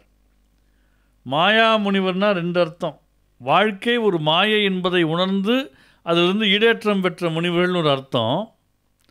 ரெண்டாவது மாயா முனிவர். மரணமில்லாத முனிவர். ஒருத்தர் அந்த ஊரில் இருக்கார். மார்க்கண்டேயர்னு பேர். சிரஞ்சீவி. மரணமில்லாத ஒரு நிலைபேறு பெற்ற சிரஞ்சீவி என்பதனால் மாயா முனிவர் அவரும் வந்து வணங்குறார். உங்களுக்கு அந்த கதை தெரியும். பதினாறு வயசில் க காலன் கவர்வான்னு சொல்லவும் இவர் நூற்றி எட்டு சிவாலயங்களை தரிசிச்சுட்டு வரேன்னு கரெக்டாக பதினாறு வயசு முடிக்கிறப்ப அவர் வந்து சேர்ந்த நூற்றி எட்டாவது சிவாலயம் திருக்கடவுர். டியூட்டியில் கரெக்டாக இருக்கிற யமதர்மன் அவனுடைய ஆட்கள்லாம் முதல்ல வந்தாங்க. இவர் சிவன்கிட்ட இருக்கிறத பார்த்துட்டு போயிட்டாங்க. எங்கே இருந்தால் என்னன்ட்டு யமதர்மன் வந்தான் பாசக்கயிறை வீசினா அது லிங்கத்தின் மேலேயும் சேர்ந்து பட்டது அமுதகடத்தின் மேல் அது பட அதிலிருந்து வெடித்தெழுந்து காலசம்ஹார மூர்த்தியாக வந்தார். இடது பாதத்தால் யமனை உதைத்தார். வலது காலில் உதைச்சிருந்த ஆட்டம் க்ளோஸ். விமோச்சனம் கிடையாது. இடது பாதத்தால் உதைத்தார். இப்போ இந்த மார்க்கண்டேயர் சிவனால் ஆட்கொள்ளப்பட்டவர் ஏன் வந்து அபிராமி காலில் விடுறார் அப்படின்னா சிவபெருமான் இடது காலால் உதைத்தார் இடது பாதம் அம்பிகை கூறியது யமனை உதைத்தவள் அபிராமி. அந்த நன்றி உணர்வுள்ள தினம் வந்து இங்கே கும்பிட்டுட்டு அப்புறம் அங்கே போகிறார் மனிதரும் தேவரும் மாயா முனிவரும் வந்து சென்னி குனிதரும் சேவடி கோமளமே. கொன்றைவார் சடைமேல் கொன்றை அணிந்திருக்கிற ஜடாபாரத்தின் மேல் பனி தரும் திங்களும் குளிர்ந்த நிலவையும் பாம்பும் பகீரதியும் படைத்த கங்கை. புனிதரும் நீயும் என் புந்தி என்னாலும் பொருந்துகவே. என் புத்தியில் நீங்கள் எப்பொழுதும் நிலையாக வந்து பொருந்தி இருக்க வேண்டும். பொருந்தி இருக்கிறதுனா வசதி குறைவாக இருக்கிறதில்ல. நல்ல சந்தோஷமாக சாவகாசமாக வந்து என் புத்தியில் நீங்கள் செட்டில் ஆயிருங்கிறார் பொருந்துதல்னா எந்தவித சிரமமும் இன்றி தங்கியிருத்தல். நான் ஏற்கனவே சொன்னேன் மூன்று புறங்களுக்கு உரியவள் அம்பிகை மூன்று புறங்கள் என்றால் திரிபுறங்கள் மட்டுமல்ல எது எதெல்லாம் மூன்று என்று வருகிறதோ எல்லாத்துக்கும் உரியவள் ரஜோகுணம் சத்துவகுணம் தாமஸ் குணம்னு எல்லா முக்கோணங்களும் அவள் இருக்கா. அனைத்து முன்னிலைகளிலும் பொருந்தியவள் என்பதனால் அடுத்த பாட்டை தொடங்குறாரு பாருங்கள் பொருந்திய முப்புரை செப்புரை செய்யும் புனர்முலையால் வருந்திய வஞ்சி மருங்கில் மனோன்மணி வார்சடையோன் அருந்திய நஞ்சு அமுதாக்கிய அம்பிகை அம்பு எம்மேல் திருந்திய சுந்தரி அந்தரி பாதம் என் சென்னியதே. அம்பிகையுடைய பாதம் எங்கே இருக்குன்னா என் தலைமையில் இருக்குங்கிறார். அவள் யார்? பொருந்திய முப்புரை மூன்று புறங்களிலும் பொருந்தியவள். செப்புரை செய்யும் புனர்முலையால் வருந்திய வஞ்சி. செப்பு போன்ற தனபாரங்களை உடையவள். அவளுடைய கொங்கை செப்பு போன்றது. அந்த பாரத்தால் அவள் இடை வருந்துகிறதாம். பொதுவாக அம்பிகையினுடைய முளைகளை குறித்தால் அது அங்க வர்ணனை அல்ல. அவருடைய இரண்டு முலைகளும் பரஞானம் அபரஞானம் ரெண்டுக்கும் அடையாளம். பொருந்திய முப்புரை செப்புரை செய்யும் புனர்முலையால் வருந்திய வஞ்சி மருங்குல் மனோன்மணி உங்களுக்கெல்லாம் தெரியும். ஆழகால விஷத்தை பெருமான் உண்டு அமுதத்தை தேவர்களுக்கு கொடுத்தான். இப்போ அபிராமி பற்று தேவர்களெல்லாம் கூப்பிட்டு ஒரு விசாரணை கமிஷன் வைக்கிறார். ஏன்னா அந்த விசாரணை கமிஷன்கள் நடக்கிற காலம். அவர் கூப்பிட்டு கேட்குறார் எந்த தேவைக்காக நீங்கள் போய் இந்த அமுதத்தை கடைஞ்சிங்க? பார்க்கடலை கடைஞ்சிங்க? அமுதம் வேணும்னு கடைஞ்சோம். அதுக்கு ஏன் நீங்கள் பார்க்கடலை கடையணும்? வேறு என்ன பண்ணணும்? ஒரு பத்து லிட்டர் விஷத்தை கொண்டு போய் அபிராமி முன்னால் வச்சிங்கன்னா அவள் அதை தொட்டால் அது அமுதமாக மாறிட போகுது. நம்ம கதையில் என்ன பார்த்துருக்கோம்? சிவபெருமான் நஞ்சை உண்டார் இவள் போய் கண்டத்தில் கை வைத்தாள் அது அங்கேயே தங்கியது. அந்த கதை அப்படி இல்லைங்கிறார் அபிராமி பட்டர். வார்சடையோன் அருந்திய நஞ்சு அமுதாக்கி அம்பிகை. இவர் கைப்பட்டதும் அது அமுதமாக மாறிடுச்சான் அப்போ எதுக்கு போய் பார்க்கடலை கடைஞ்சிட்டு விஷத்தை வச்சா அவள் பாட்டுக்கு தொட போகிறா அது அமுதமாக போகுது எடுத்து குடிங்கடான்ட்டு போக போகிறான் வார்சடையோன் அருந்திய நஞ்சு அமுதாக்கிய அம்பிகை அம்புயம் மேல் திருந்திய சுந்தரி. திருந்திய சுந்தரினா கச்சிதமாக உட்காந்துருக்கானாம் தாமரையில். இது என்ன சார்? புதுக்கதையாக இருக்குது தாமரையில் கலைமகள் இருக்கான்னு தெரியும் திருமகள் இருக்கான்னு தெரியும். இவன் எங்கே தாமரையில் போய் உட்கார்ந்தா அப்படின்னா மனோன்மணி சகசிரஹாரம் என்பது ஆயிரம் இதழ்கள் கொண்ட தாமரை. அந்த சகசிரஹாரத்திலே அமர்ந்திருப்பவள் அம்புயம் மேல் திருந்திய சுந்தரி. அவர் நம்முடைய சக்தி நிலையினுடைய உச்சம் மனோன்மணி. வாயும் மனமும் கடந்த மனோன்மணி என்று திருமூலர் பாடுகிறார். அப்போ திருந்திய சுந்தரி அந்தரி. அந்தரி என்கிற சொல்லுக்கு ரெண்டு மூணு அர்த்தங்கள் உண்டு. நான் ஏற்கனவே அந்த முன்னுரையில் சொல்லியிருக்கேன். மன அந்தரங்கத்தை ஆள்பவள் அந்தரி. உங்களுக்குள்ளே இருந்து ஏதோ ஒன்று சொல்லுவாள் டே அங்கே போகாதடான்னா போகக்கூடாது அந்தரத்துலேருந்து அவள் பேசுவாள் இரண்டாவது மகிடன் தலைமையில் அந்தரின்னு பின்னால் வரும். மகிஷாசூர்தனுக்கு அந்தமாக வந்தவள். மூணாவது அந்தரி ஒருத்தர். அவள் ரொம்ப இன்ட்ரெஸ்டிங் கேரக்டர் அவள் யாருன்னா? விஷ்ணு துர்கை திருமாலுடைய தங்கை.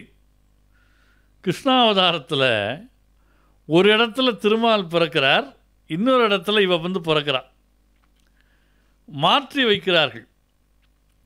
வசுதேவருக்கு குழந்தை பிறந்தது என்று வந்து பார்த்தால் அங்கே பெண் குழந்தை படுத்திருக்கிறது. எதுக்கு வம்புன்னு எல்லா குழந்தையும் எடுத்து அடித்து கொல்லக்கூடிய குணமுள்ள கம்சன் இவனோட காலை பிடிச்சி தூக்குறான். இவ இவனுடைய கைக்கு தப்பி அந்தரத்தில் நின்றவள் அந்தரி. அவங்க நின்று சொல்கிறா டேய் உன்னை கொல்லக்கூடிய என்னுடைய சகோதரன் வேற இடத்துல வளர்றான். உனக்கு அந்திம காலம் நெருங்கி விட்டது. ஒன்றுமில்லை இப்போ நான் நினைத்தால் இந்த வினாடி உன்னை அழித்து விடுவேன். ஆனால் தெரிஞ்சோ தெரியாமலோ நீ என் காலை பிடிச்சிட்ட அதனால் உன்னை மன்னிக்கிறேன் பொருந்திய முப்புரை செப்புரை செய்யும் புனர்முலையால் வருந்திய வஞ்சி மருங்குல் மனோன்மணி வார்சடையோன் அருந்திய நஞ்சு அமுதாக்கி அம்பிகை அம்புயம்மேல் திருந்திய சுந்தரி அந்தரி பாதம் என் சென்னியதே.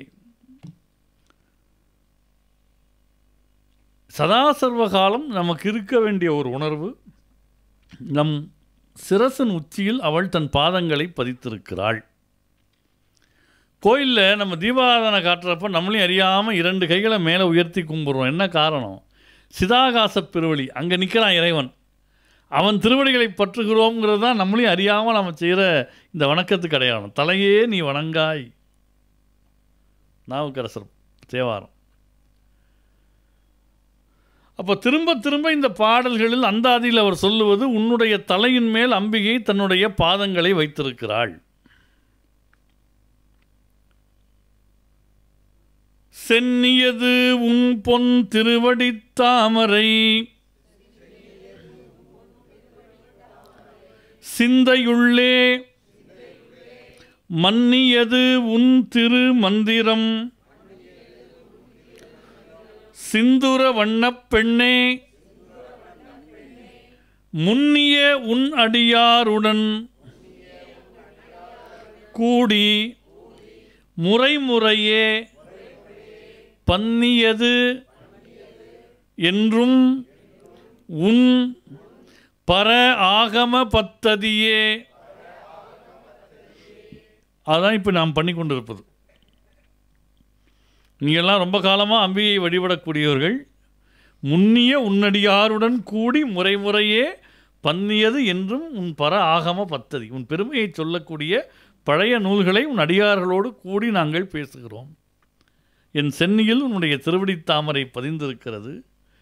சிந்தையுள்ளே மன்னியது உன் திரு மந்திரம் ஒரு மந்திரத்துக்கு என்ன சிறப்புன்னா ஒரு குருநாதர் உபதேசம் பண்ணுகிற போது அந்த மந்திரத்தை உள்வாங்குவதில் சில சிரமங்கள் இருக்கலாம். காலப்போக்கில் தொடர்ந்து அந்த மந்திர ஜபம் உள்ளே ஓடிக்கிட்டே இருந்ததுன்னா அப்புறம் அது நிலையாயிரும். நீங்கள் என்ன காரியம் பண்ணாலும் உள்ளுக்குள்ளே அந்த மந்திரம் ஓடிக்கிட்டே இருக்கும். மன்னுதல் என்றால் நிலை பெறுதல்னு அர்த்தம். சிந்தையுள்ளே மன்னியது உன் திருமந்திரம். எத்தவத்தை செய்தாலும் ஏதவத்தை பட்டாலும் முத்தர் மனம் இருக்கும் மோனத்தேன்னா. உலகத்தில் எல்லா காரியமும் பண்ணுறது மாதிரி இருப்பாங்களாம். முக்தர்கள் ஜீவன் முக்தர்கள். அவங்க மனசு எங்கே இருக்கும்னா இறைவனிடத்தில் இருக்கும். என்ன காரணம்? அந்த மந்திரம் வழி. சிந்தையுள்ளே மன்னியது உன் திரு மந்திரம் ஒரு சின்ன வர்ணனை சிந்துர வண்ணப்பெண்ணே அப்படிங்கிறார். குங்கும நிறத்து அழகியேன்னு அர்த்தம். சிந்துர வண்ணப்பெண்ணே முன்னிய உன்னடியாருடன் கூடி. எதில் நீங்கள் சராசரியாக கவர்மெண்ட் வேலைக்கு போனாலே சீனியருக்கு ஒரு முக்கியத்துவம் தரும். சீனியர் ரிட்டையர் ஆகி போனால் ஒரு இடம் நமக்கு. ஆனால் ஆன்மீகத்தில் சீனியருக்கு ரிட்டையர்மெண்ட் கிடையாது. ஆனால் அவங்க தான் நம்மளை என்றைக்கும் கைட் பண்ணி கூட்டிகிட்டு போவாங்க. அதான் மாணிக்கவாசர் சொல்லுகிறார் பழ அடியீர் புத்தடியோம் புண்மை தீர்த்து ஆட்கொண்டால் பொல்லாதோன்னு கேட்குறார் நீங்கள் தான் எங்களுக்கு பெரியவங்க நீங்கள் தானே எங்களை ஆட்கொள்ளணும்னு கேட்குறார் முன்னிய உன்னடியாருடன் கூடி முறை முறையே பண்ணுவது என்றும் முன்பர ஆகம பத்ததியே. பண்ணுதல் அப்படின்னா திரும்ப திரும்ப சொல்லுதல்னு அர்த்தம். ஒரு தடவை சொல்லிட்டு விடுறதில்ல. இப்போ காலம் போதாமையால் ஒரு பாட்டை நான் ஒரு தடவை சொல்கிறேன் நீங்கள் என் கூட சேர்ந்து சொல்கிறீங்க நியாயமாக ஒரு நாளைக்கு ஒரு பாட்டு எடுக்கணும். அதையே திரும்ப திரும்ப சொல்லணும். பண்ணுதல் என்றும் முன்பற ஆகம பத்ததியே. மனப்பாடம் ஆகிற வரைக்கும் சொல்லணும். பண்ணுதல் என்றால் திரும்ப திரும்ப உச்சரித்து வசிஷ்டர் தசரத குமாரர்களுக்கு பெயர் சூட்டிக் கொண்டே வருகிறார். பார்க்குறார் ராமன் அப்படின்னு பேர் வைக்கிறார். அந்த கம்பர் சொல்கிறார் ராமன் எனும் பெயர் ஈந்தனன்கிறார். ஈதல்னால் என்ன அர்த்தம்? யாருக்கு எது இல்லையோ அதை கொடுக்கறது தான் ஈதல்னு பேர். ராமன் கடவுள் அவனுக்கு பேரே கிடையாது. ஒரு நாமம் ஓருருவம் இல்லானுக்கு நம்ம திருநாமம் பல சொல்லி தெள்ளேனம் கொட்டுகிறோம்ங்கிறார் மாணிக்கவாசகர். அப்போது பேர் இல்லாத ராமனுக்கு ஒரு பேர் இருந்து அவச்சுக்கோன்னு கொடுத்தான் குறிகுணம் இல்லாத பரம்பொருளுக்கு ராமன் எனும் பெயர் இந்தனன் இந்த பரதனை கையில் எடுத்தார். அட்டையப்பா இவ்வளோ நல்ல பிள்ளை. பின்னால் இவன் வந்து ஆயிரம் ராமருக்கு இணைன்னு சொல்ல போகிறான் ஒருத்தன். யார்? குகன். வசிட்டர் கடைசியில் சொல்ல போகிறார் எண்ணில் கோடி ராமராயினும் அண்ணல் நின் அருளுக்கு அருகாவரோங்க போகிறாரு அந்த குழந்தைய கையில் வச்சுக்கிட்டு ஒரு தடவை சொல்லியான் திரும்ப திரும்ப பரதன் பரதன் பரதன் பரதன் பரதன் பரதன் அப்படின்னாராம். பரதன் எனும் பெயர் பன்னினன் அப்படிங்கிறார் கம்பன். முறைமுறையே பண்ணுவதென்றும் உன் பர ஆகம பத்ததியே. ததியுரு மத்தில் சுழலும் என்னாவி தளர்விலதோர் கதி உரு வண்ணம் கருது கண்டாய். கமலாலயனும் மதி உருவேணி மகிழ்னனும் மாலும் வந்து துதியுறு சேவடியாய். சிந்துரானன சுந்தரியே. இந்த உயிர் தயிர் மாதிரி இருக்கான். தயிருக்கு நடுவில் ஒரு மத்தை போட்டு இப்படி அப்படி இப்படி அப்படி கடைவாங்க அதுபோல இருவினை நல்வினை தீவினை நல்வினை தீவினை நல்வினை தீவினை இந்த உயிரை போட்டு கடைதான். ததியுறு மத்தில் சுழலும் என் ஆவி. இது தளர்வு இளதோர் கதியுறு வண்ணம். இது தளர்ந்து போகாமல் வீடு பேராகிய கதியை அடையும் வண்ணம். நீ என்ன தெரியுமா பண்ணும்? மனசில் நினச்சா போறோம். கதியுறு வண்ணம் கருது கண்டாய். நீ வந்து செயல் செய்யலாம் தேவையே இல்லை. அப்படி பார்த்து இந்த உயிர் தடுமாறுதா?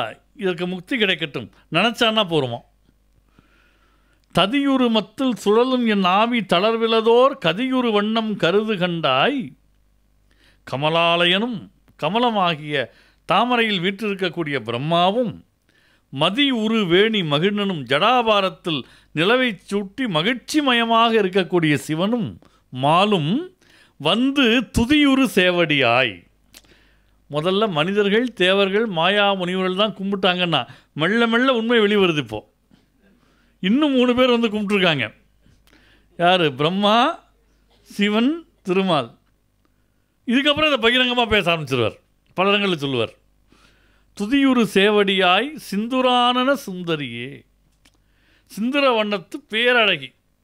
சிந்துரானன சுந்தரியே. அடுத்த பாட்டு இதுவும் ரொம்ப அழகான பாட்டு. சுந்தரி எந்தை துணைவி என் பாசத்தொடரையெல்லாம் எல்லாம் வந்து அரி சிந்துர வண்ணத்தினாள் மகிடன் தலைமேல் அந்தரி நீலி அழியாத கன்னிகை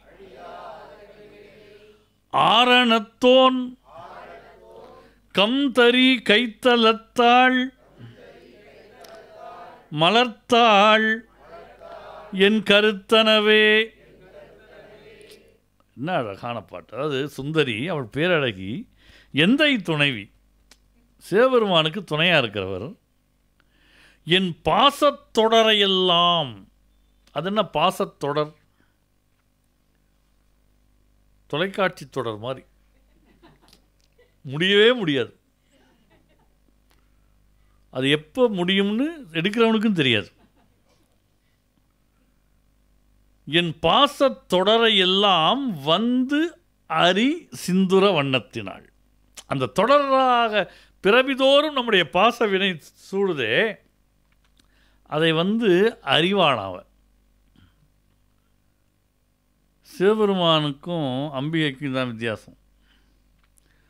உங்கள் பாசத்தொடர்கள் உங்களை விட்டு நீங்குகிற போது அது ஒரு பெரிய அறுவை சிகிச்சை. அனஸ்தீசியா கொடுக்காமலே அறுக்கிறவர் சிவபெருமான். பாசமாம் பற்று அறுத்து பாரிக்கும் ஆரியன்.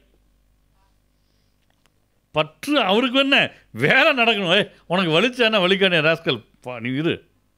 இவ்வளோ நாள் ஆட தெரிஞ்சது இல்லை காமி. அரசையாத ஒரே வெட்டு வெட்டு வரான். அம்பிகை அப்படி இல்லை. நீங்கள் மாமிசம் சமைக்கிற போது அந்த மாமிசத்தை அறுப்பார்கள். காய்கறியை அறிவார்கள்.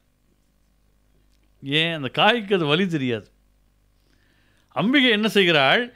என் பாசத்தொடர் அவள் அறுக்கலை. என் பாசத்தொடரையெல்லாம் வந்து அரி சிந்துர வண்ணத்தினாள். ஒரு குழந்தை நன்கு உறங்கிக் கொண்டிருக்கிற போது அந்த குழந்தைக்கு தெரியாமல் மிக மென்மையாக அந்த நகத்தை தாய் வெட்டுவது போல அந்த உயிரிடமிருந்து பாசத்தொடரை அவள் அகற்றிவிடும். என் பாசத்தொடரையெல்லாம் வந்து அரி சிந்துர வண்ணத்தினாள். அவ யாரு? மகிடன் தலைமையில் அந்தரி மகிஷாசுர மர்தினி மகிட ம- மகிஷாசுரனுக்கு அந்தமாக வந்தவள். நீலி. நீலின்னா வெவ்வேறு பொருள். நீல வண்ணமுடையவள்னு அர்த்தம். எல்லா குயுக்தியும் தெரிஞ்சவன் அர்த்தம். காளி வலிய சாமுண்டி ஒங்காரத் தலைவியின் ராணி பல நாளிங்கனையலைக்கலாமோ உள்ளம் நாடும் பொருளடைதற்கன்றோ மலர் தாளில் விழுந்தவையும் கேட்டேன். இதை தாராய் எனது உயிரை தீராய். துன்பம் நீளில் உயிர் தரிக்க மாட்டேன். கரு நீலி என் இயல்பறியாயோன் நம் பாரதி. எனக்கு உன்னை பற்றி தெரியும் உனக்கு என்ன பற்றி தெரியும். நமக்குள்ள ஏன் பிரச்சனைங்கிறான் அவன். நீல வண்ணமுடையவள் ஷியாமலை. அழியாத கன்னிகை. நீங்கள் ஒன்று மறந்துடக்கூடாது. மற்ற மதங்கள் குழந்தையை பெற்ற பிறகும் அந்த தாய் கன்னித்தாய் என்று சொல்லுவதற்கு ஆயிரம் ஆயிரம் ஆண்டுகள் முன்பே கன்னித்தாய் என்ற கான்செப்டை கொடுத்த மதம் நம்முடைய மதம். பராசக்தியை அழியாத கன்னிகை என்று சொன்னார். ஆரணத்தோன் கம்தரி கைத்தலத்தாள். அதாவது ஆரணத்தோன்னா பிரம்மா. அவருக்கு ஐந்து தலை இருந்தது. அகங்காரம் மேலிட்டால் அவர் ஆடத் தொடங்க சிவபெருமான் ஒரு தலையை கிள்ளினார். அந்த கையை அவருக்கு அந்த கபாலமே அவருக்கு திருவோடாக மாறியது. அந்த செயலை அம்பிகை மேல் ஏற்றி பாடுகிறார். ஏன்? ரெண்டு பேரும் அர்த்தநாரிகள் தானே. இவர் செஞ்சால் அவர் செஞ்ச மாதிரி அவர் செஞ்சால் இவர் செஞ்ச மாதிரி. ஆரணத்தோன் கந்தரி கைத்தலத்தாள். கையில் பிரம்ம கபாலத்தை திருவோடாக வைத்திருப்பவள்னு அர்த்தம். மலர்த்தாள் என் கருத்தனவே. அவருடைய திரு- மலர் போன்ற தாமரை மலர்கள் போன்ற திருவடிகள் என் கருத்தில் இருக்கின்றன. தலையிலும் அவளுடைய பாதம்தான் மனசுலையும் அவள் பாதம்தான். சதா சர்வகாலம் அம்பிகையினுடைய சாநித்தியத்தில் திளைக்கிறார். இப்போ அம்பிகையினுடைய திருமுலைகள் பற்றி ஒரு அருமையான பாட்டு. கருத்தன எந்தைதன் கண்ணன வண்ண கனகவெற்பில் பெருத்தன பால் அழும் பிள்ளைக்கு நல்கின பேர் அருள்கூர் திருத்தன பாரமும் ஆரமும் செங்கை சிலையும் அம்பும் முறுத்து அணமூறலும் நீயும் அம்மே வந்து என் முன்னிற்கவே வீட்டில் வளருகிற குழந்தைகள் இருக்கக்கூடிய தாய்மார்கள் அது உங்கள் உங்கள் பிள்ளைகளாக இருக்கலாம் உங்கள் பேர பிள்ளைகளாக இருக்கலாம். அந்த வீடுகளில் இருக்கிறவங்க தயவு செய்து இந்த பாடலை மனப்பாடம் செய்து கொண்டு காலையில் பால் காய்ச்சுகிற போது இந்த பாடலை சொல்லிக்கொண்டே பால் காய்ச்சினால் அந்த குழந்தை பருகுகிற பால் ஞானப்பாலுக்கு சமம். அவ்வளவு அதிர்வுகள் இந்த பாட்டில் உண்டு. அம்பிகையினுடைய திருமுலைகள் எத்தகையவை? கருத்தன கருப்பு நிறம். எந்த இதன் கண்ணன. சிவபெருமானுக்கு அவை கண்கள் போன்றவை. ஏன் ஒன்று பரஞானம் இன்னொன்று அபரஞானம்? இதை சொல்கிறப்போ ஒருத்தர் கேட்பார். ஏன் சார்? அம்பிகையினுடைய திருமுலைகள் சிவபெருமானுக்கு கண்கள் போன்றவைங்கிறீங்களே. சிவபெருமானுக்கு தான் மூணு கண்ணாச்சே.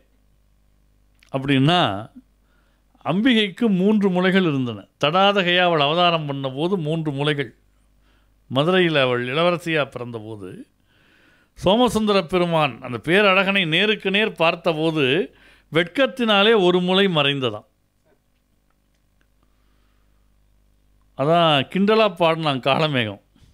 வில்லப் புதுமை ஒன்று கண்டேன் மதுரையில் தென்னம்பிள்ளைக்கு மூன்று குறும்பைனாம் தென்னன் பிள்ளை அதான் தென்னம்பிள்ளையாம் தென்னன்னா யார்? பாண்டியராஜா.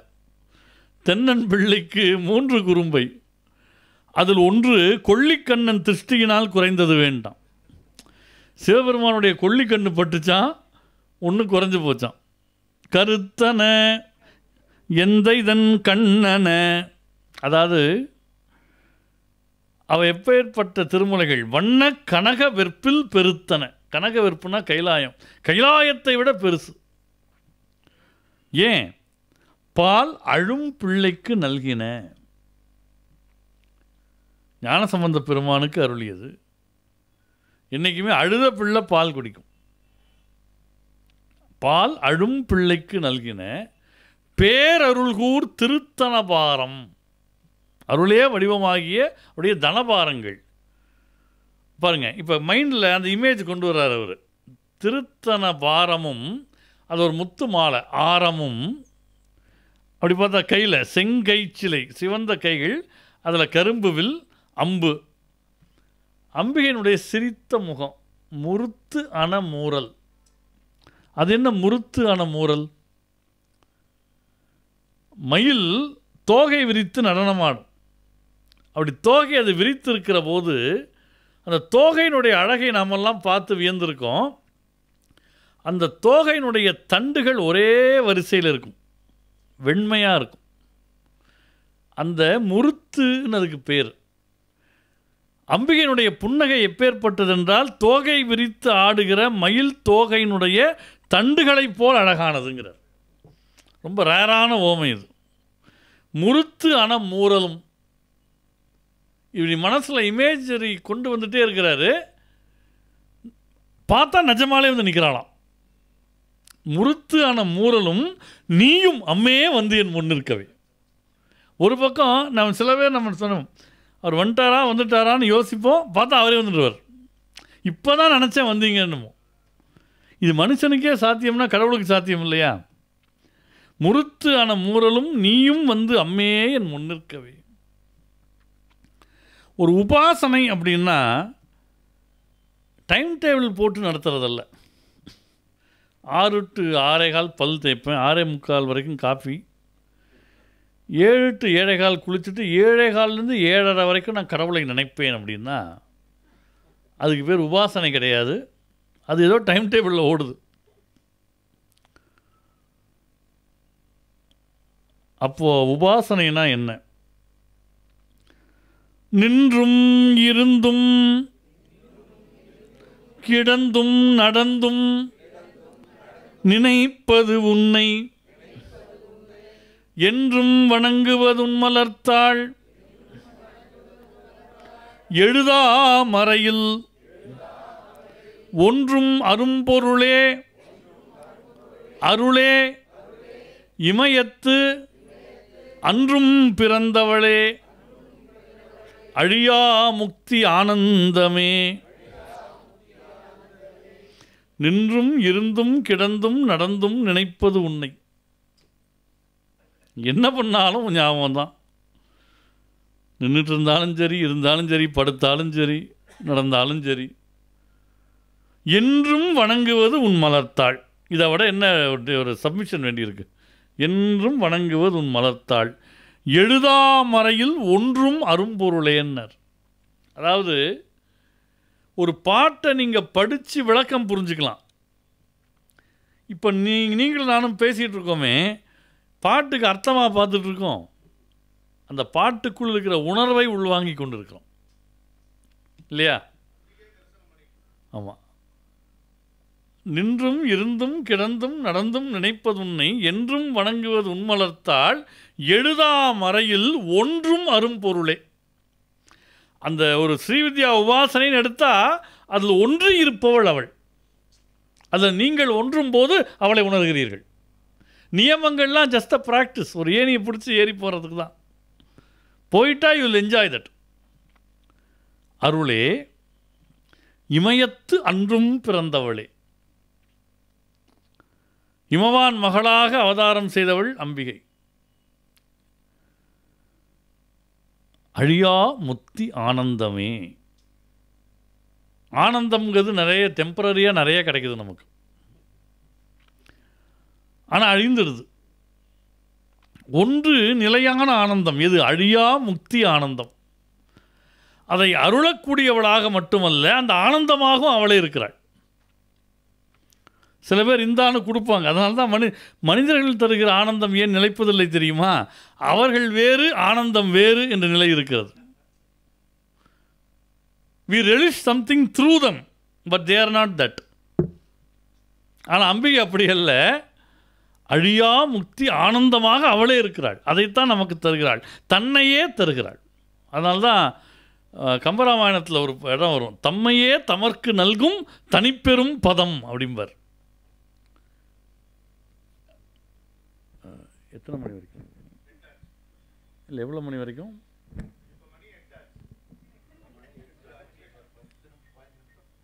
எட்டே கால் வரைக்கும் போகலாமா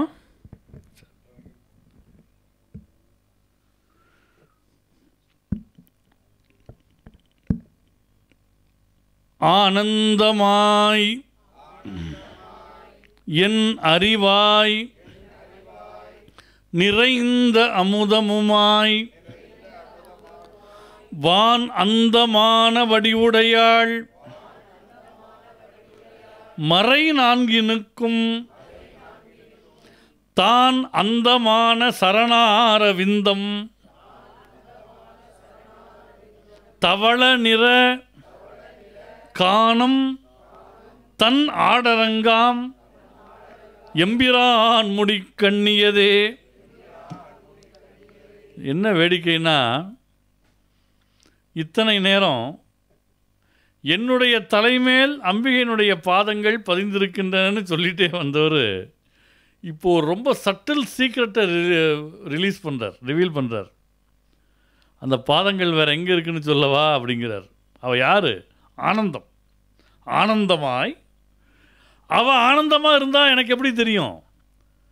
அவள்தான் பேரானந்தம் என்பதை உணரக்கூடிய அறிவு எனக்கு வர வேண்டும். அந்த அறிவாகவும் அவளே இருக்கா.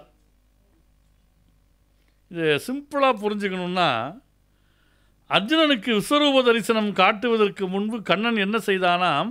அதை காண்பதற்குரிய கண்களை முதல்ல கொடுத்தானாம். அதை கொடுத்தா தானே அவனால் பார்க்க முடியும். அப்போ இவ பேரானந்த வடிவமாக இருந்து பிரயோஜனம் இல்லை எனக்கு. எனக்கு எப்போ பிரயோஜனம்? அதை அறியக்கூடிய புத்தி எனக்கு இருந்தால் தான் பிரயோஜனம். அந்த அறிவாகவும் அவளே வர்றா. ஆனந்தமாய் என் அறிவாய் நிறைந்த அமுதமுமாய். நிறைந்த அமுதம்னா அபரிமிதம்னு அர்த்தம். எல்லை கடந்து அது எக்ஸ்பீரியன்ஸில் வர்றது. ஒரு டம்ளரில் வைக்கிற அமுதம் அல்ல அது. உள்ளே ஊறி ததும்புகிற அமுதம். மாங்காய்ப்பால் உண்டு மலைமேல் இருப்பவருக்கு தேங்காய்ப்பால் ஏதுக்கடி? குதம்பாயின்னு அதை தான் குதம்பை சித்தர் கேட்குறார் ஆனந்தமாய் என் அறிவாய் நிறைந்த அமுதமுமாய். அப்படி அவள் உள்ள ஒரு எக்ஸ்பீரியன்ஸ் ஆயிட்டான்னா அவள் வடிவம் எங்கே போய் முடியும் தெரியுமா? வான் அந்தமான வடிவுடையாள். வானம் தான் கடைசி. அது வரைக்கும் சர்வ வியாபினியாக நிற்பாளாம் வான் அந்தமான வடிவுடையாள் மறை நான்கினுக்கும் நான்கு மறைக்கும் எது முடிவு?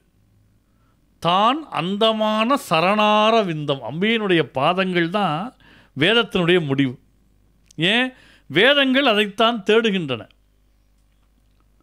இல்லையா? வேதங்கள் ஐயா என ஓங்கி ஆழ்ந்தகன்ற நுண்ணியனேங்கிறார் மாணிக்கவாசர். மறை நான்கினுக்கும் தான் அந்தமான சரணாரவிந்தம். சரண் அரவிந்தம். சரண் ஆரவிந்தம்னா சரண் அரவிந்தம். தாமரை மலர்களாகிய திருவடிகள்னு அர்த்தம். இந்த திருவடிகள் எங்கே இருக்குன்னா தவள நிற காணம். தவள நிறம்னா வெள்ளை நிறம்னு அர்த்தம். வெள்ளை நிற காணம் என்பது மயானத்தை குறிக்கும். திருத்தலங்களை பார்த்தீங்கன்னா திருவெண்காடு. ஸ்வேதாரண்யம்னு அதை சொல்லுவார்கள். திருக்கடவுர் பக்கத்தில் தான் இருக்கதும். தவள நிற காணம் தம் ஆடரங்காம். அதை தன்னுடைய ஆடல் அரங்கமாக கொண்டிருக்கிற எம்பிரான் இருக்கிறானே ஈசன். அவனுடைய தலைமேல் சூடப்பட்டிருக்கிற மலர்களாக அம்பிகையினுடைய திருவடிகள் இருக்கின்றன. தவள நிற காணந்தம் ஆடரங்காம் எம்பிரான் முடி கண்ணியதே. கண்ணினா சேர்ந்திருப்பதுன்னு அர்த்தம். ரெண்டு ரெண்டு வரியாக சேர்ந்து வரும். இப்போ தாய்மானவர் பாடினார் இல்லையா? பராபர கண்ணி. ரெண்டு ரெண்டு வரியாக வருது. சேர்ந்து வந்தால் கண்ணி. இந்த பாட்டு கொஞ்சம் நுட்பமாக உள்ள சுற்றி வர்றதுனால இன்னொரு தடவை சொல்கிறேன் நீங்களும் சொல்லலாம். ஆனந்தமாய் என் அறிவாய் நிறைந்த அமுதமுமாய் வான் அந்தமான வடிவுடையாள் மறை நான்கினுக்கும் தான் அந்தமான சரணாரவிந்தம் தவள நிறக்கானம் தன் ஆடரங்காம் எம்பிரான் முடிக்கண்ணியதே. அடுத்த பாட்டு அம்பிகைகிட்ட போய் ஒரு கன்ஃபெஷன் சொல்கிறார் அம்மா உன்னுடைய மார்க்கத்தில் போய் நிற்கணும் அப்படின்னு எனக்கு தெரியாது. அவ்வளோ அறிவுலாம் எனக்கு கிடையாது. ஆனால் இன்றைக்கி பார்த்தா என் கண்களுக்கு இணையாக நான் போற்றுவது உன்னுடைய புகர் பெருமை நான் எப்பவும் படிக்கிறது உன்னுடைய ஆயிரம் நாமங்கள். எப்போ பார்த்தாலும் நான் கனிந்து பக்தி பண்ணுறது உன்னுடைய திருவடிகள். அது மட்டுமா? ராத்திரி பகலாக உன் அடியார்கள் நடுவிலேயே இருக்கேன். ஏம்மா இதெல்லாம் செய்கிறதுக்கு நான் என்னம்மா புண்ணியம் பண்ணேன்னு கேட்குறாரு எனக்கு ஏது அவ்வளோ தகுதி? கண்ணியது உன் புகழ் கற்பது உன் நாமம். கசிந்து பக்தி பண்ணியது உன் இரு பாதாம்புயத்தில். பகல் இரவாய் நன்னியது உன்னை நயந்தோர் அவயத்து. நான் முன் செய்த புண்ணியம் ஏது என் அம்மே? புவியேடையும் பூத்தவளே. கண்ணியது உன் புகழ் கற்பது உன் நாமம். இதுக்கு விளக்கம் தேவையில்லை. கசிந்து பக்தி பண்ணியது உன் இரு பாதாம்புயத்தில் பாத அம்புயத்தில் பகல் இரவா? ராத்திரி பகலாக நான் சேர்ந்தது என்ன? உன்னை நயந்தோர் அவையத்தும். பெருமை தெரிஞ்சவங்க மத்தியிலேயே நான் சேஃபாக இருக்கேன். அப்புறம் அவருக்கு ஒன்று தெரியுது. இந்த பிறவியில் இவ்வளோ புண்ணியம் நான் பண்ணலையே. அப்போ எப்போ பண்ணியிருப்பேன் நான் முன் செய்த புண்ணியம் ஏது? என் நம்மே புவி ஏழையும் பூத்தவளே.